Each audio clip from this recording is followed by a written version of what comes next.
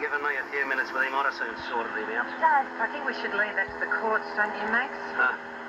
You're down as the third witness. Remember what we discussed, the questions I probably ask. It won't be easy. It's the only way to get a conviction. Come on, let's go inside. I want to see that scum. I want to see him twirl. Dad! It's all right, sweetheart. I- I'll wait here with you. No, don't.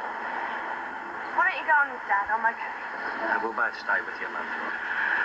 You'll hear them call you when we're ready.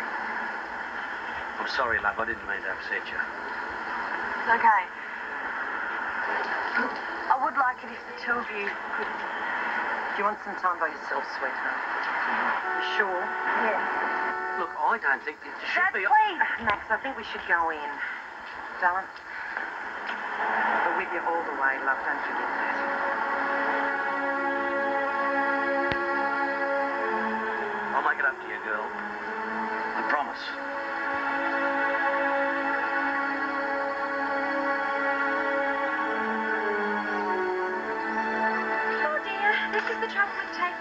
It's absolutely impossible getting everyone's appointments back.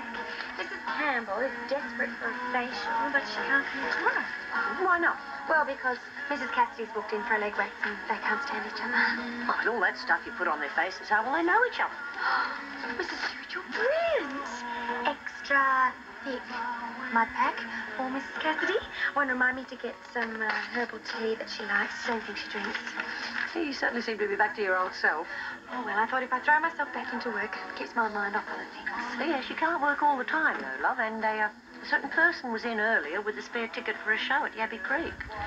Well, you can tell a certain person that I'm still not interested. What? Have I got a zit on my face or something?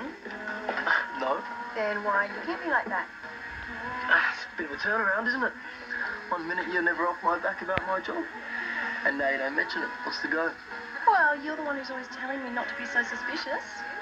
Yeah, that's right. So I'm taking your advice, and I'm not suspicious anymore. But now I am. Of what? I'm suspicious that you're not suspicious anymore. You know something? You've got a suspicious mind. Heard they're biting off the point. Thought I might throw a couple of lines in, see if I can get something for tea. You want to join me? No, no, I'm not in the mood. Uh, something you want to talk about? You know, share the load? No, no, I'll sort it out. Thanks anyway. Okay, mate. I'll see you later.